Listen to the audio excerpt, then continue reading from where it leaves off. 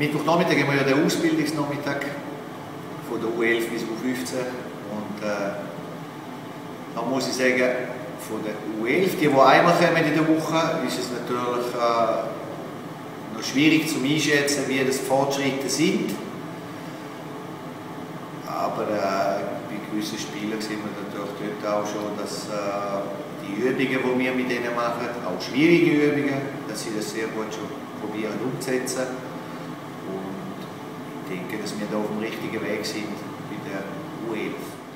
Ja, sicher. Ich meine, die Turniere jetzt im Winter, die sind natürlich äh, äh, sehr gut für die Junioren im Bereich von der Technik. Jetzt im Blick auf das Turnier, wo in Glarus stattgefunden hat, ist äh, Chur 97, das Team von Heidi Fischer, hat dort äh, teilgenommen mit äh, grandiosen Leistungen. Haben sie das Turnier gewonnen. Sie haben äh, im Halbfinale GC 2-0 geschlagen. Noch in der Vorrunde im Gruppenspiel gegen St. Gallen 2-3-1 verloren. Aber äh, wie gesagt, äh, das Finalspiel gegen Zürich haben sie 1-1 äh, gespielt und im Penaltyschiessen haben sie gewonnen. Das heisst, die haben sicher auch noch Nervenstärke. Sie können nicht nur gut Fußball spielen, sondern sie sind auch noch nervenstark sind auch noch. Und äh, das ist sehr erfreulich. Äh, was ich gehört habe, ist, äh, dass auch Verantwortliche von GC, Zürich und St. Gallen schon gestaunt haben, dass das äh, Team Q97 eigentlich so gut Fußball spielen kann. Das ist natürlich ein schöner Erfolg und äh, gratuliere natürlich da Q97 und ähm, Heidi Fischer für den Sieg. Aber wie gesagt, es geht weiter. Äh, die anderen sind auch jetzt schon wieder äh, am Trainieren, die anderen Mannschaften. Und äh, wir müssen auch weiter trainieren mit der U11 und hoffen, dass äh, dann im Sommer, wenn sie zu 12 kommen, wir dort äh, wirklich eine schlagkräftige Truppe zusammenstellen Ich denke schon, weil wir, wir teilen ja die Mannschaft auf, haben kleine Gruppen, äh, Qualität ist natürlich äh, sehr hoch geschrieben bei uns in diesen Trainings und es wird auch von den Spielern viel verlangt. Sie setzen es auch zum großen Teil sehr gut um, von der U12 bis zu der U15. Ich finde es eine sehr gute Sache. Weil wir erstens einmal sehen wir uns Trainer, sonst ist immer jeder irgendwo anders am Trainieren. Und zweitens lernen wir alle Spieler auch kennen. So, wenn wir über einen Spieler diskutieren kennt auch jeder Trainer seine Stärken und Schwächen. Und äh, das machen wir jetzt seit längerer Zeit schon und Fortschritte sind unverkennbar. Klar ist die eine oder andere vielleicht weniger, beim einen wieder ein bisschen mehr, aber wir sind sicher da mit, dem, mit der richtigen Ausbildungsphilosophie sind wir da unterwegs. Ja, bei der U12 ist es ein bisschen speziell, wo wir Gesichter dann immer nicht auf äh, das Geburtsdatum geschaut und äh, eigentlich nur auf die Qualität geschaut. Und uns ist noch aufgefallen, dass wir drei, vier Monate jünger sind wie alle anderen U12-Mannschaften hier beim FCO. Das heisst, sie haben alle Geburtstag oder viele haben Geburtstag erst August, September, Oktober.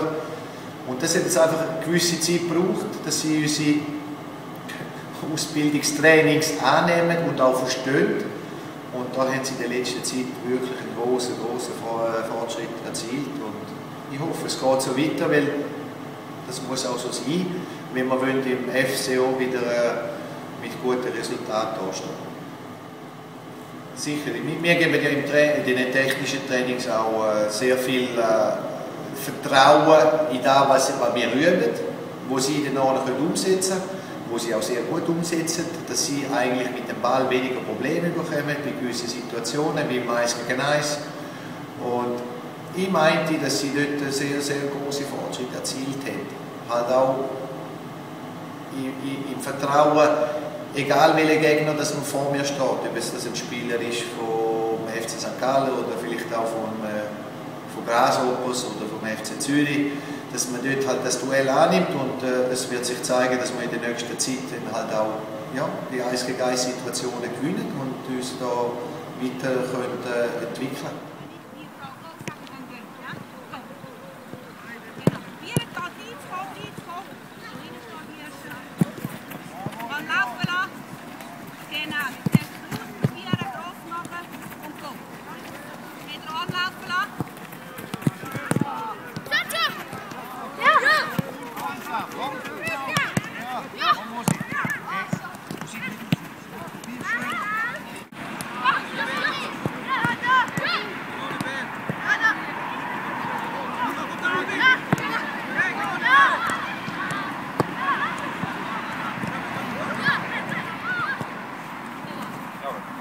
我这我这我这。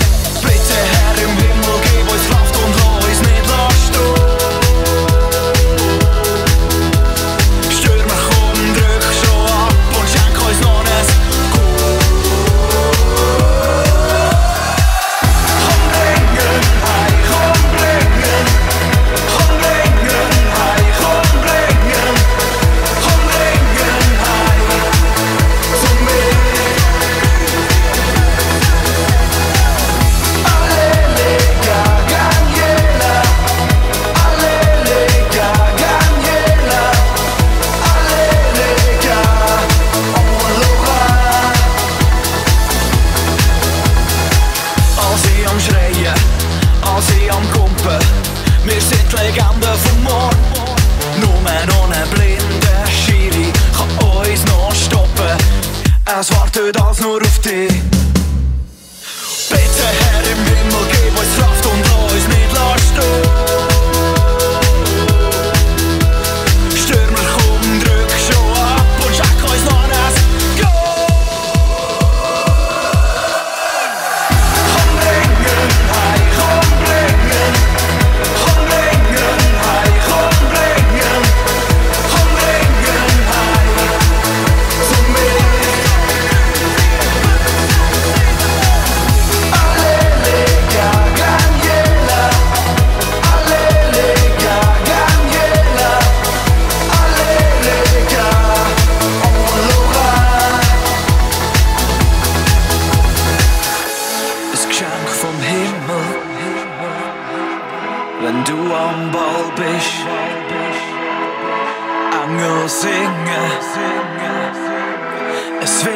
fantastisch. fantastisch.